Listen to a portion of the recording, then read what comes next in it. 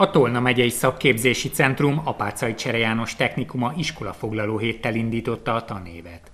A diákok a projekt hét folyamán nem egyből a tanulás világába csöppentek bele, különféle csapatépítő programok mentén játékos formában sajátítottak el számos információt. Az idén Dombóvár szobrai álltak a program középpontjában, ezekből kellett az apácais diákoknak egy projektterméket előállítani. Ez a tanév is a tavalyhoz hasonlóan egy iskola kezdő projekt héttel indult.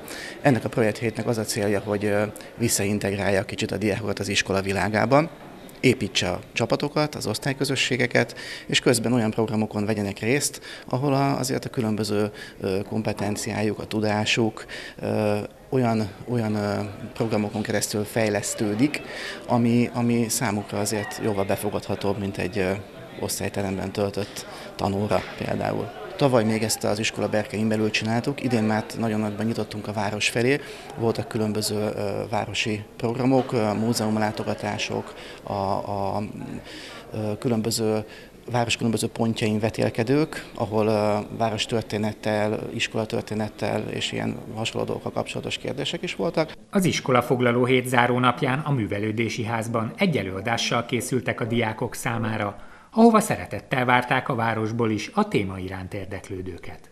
A belváros iskolából is jöttek diákok, ez, ez a program ez pedig Szentről Szabolcs hegymászó természetjárónak a, az előadása.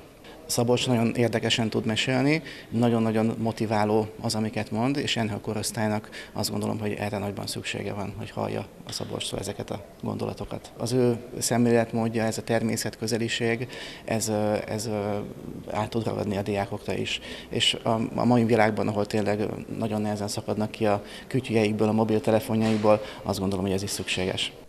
A dombóváriaknak előadást tartó Szendrő Szabolcs 34 évesen lobbant szerelemre a hegyek iránt, de addig is megszállottan sportolt, ám egy vonatbaleset következményeként ballábát térd alatt amputálni kellett, de ezt követően sem engedte el a sportot az életéből. Profi kajakos lett belőle, majd jött a hegymászás, első körben turistaként, majd az OSC igazolt hegymászója lett. Az előadás alkalmával hegymászásairól képvetítéssel egybekötött élménybeszámolót hallhattak tőle a jelenlévők, de elsőként arról beszélt, hogy került a sport az életébe. Úgy gondoltam, hogy erre a súlyemelés a legalkalmasabb, csak hát ott nem volt lehetőségem ilyen súlyemelezésre menni, amelyre bekerültem Pestre a vasútgépészeti technikumba, addigra viszont a tanulmány eredményén voltak oda, úgyhogy van mit tanulni, hogy hát azért vannak bajok a tanulással, hogy hát azt mondták, hogy hát ha majd rendesen tanulsz kisfiam, akkor mehetsz, és a kisfiú meg vagy hülye volt, vagy lusta volt, de nem neki a dolog. És akkor a második év végén pont a keletiben voltam egy termes gyakorlaton, amikor mondták a szüleim, hogy jó van, most kipróbálhatod magad. Addig volt nekem odahaza egy 30 kilós mozsaram és egy 37,5 kilós sindarab, és azt nyomkodtam folyamatosan, végén már félkézzel is ki tudtam nyomni, de nem tudtam, hogy mit tudok valóban megemelni. Szendrő Szabolcs kitartása, elhivatottsága példaértékű lehet a fiatalok számára, akiknek azt a sokkoló pillanatot is elmesélte, mikor elvesztette a lábát, de őt még ez sem tántorította el attól, hogy a sport az életében napi szinten jelen legyen.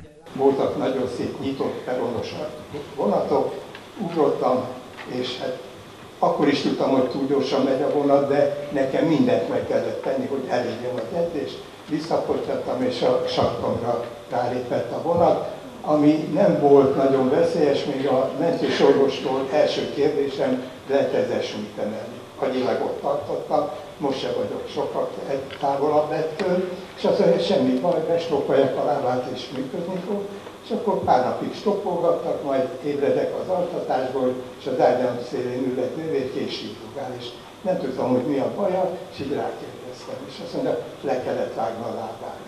Mondjuk 16 évesen ilyen álmok mellett elébredni egy normális embernek nagyon-nagyon rossz lehet. Én valahogy kilógok a sorból, mert nagyjából 5 percen belül lerendeztem minden problémámat, mert Tudtam, hogy olyat tettem, amit nem szabad, ezért jár valami büntetés, nekem nagyjából egy életfogytiglani filágúság lesz, de azt is tudtam, hogy továbbra is szeretnék sportolni, de hát most már valami ülősportág után kéne nézni. És akkor Hát úgy, hát mondom, lehetne sakkozni, de bár fölött baromi gyenge vagyok, hogy azt nagyon gyorsan elfelejtettem.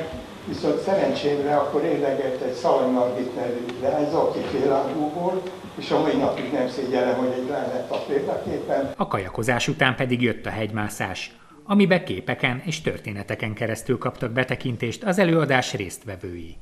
A tanévet indító iskola foglaló a hegymászó élmény beszámolóján kívül számos olyan elemet tartalmazott, ami összekovácsolta az osztályközösségeket. A diákok pozitívan reagáltak erre, tavaly is és idén is, élvezték a, a projekthetet, és szerencsére az időjárás is kegyes volt hozzánk, úgyhogy nem szakadó esőben kellett az itteni feladatokat teljesíteni, de találkoztam el este is, tehát még este is olyan diákokkal, akik az iskolai feladatokat oldották meg teljesen fakultatív szabadidejük terhére, úgyhogy én ebből arra következtetek, hogy számukra ez egy pozitív élmény volt.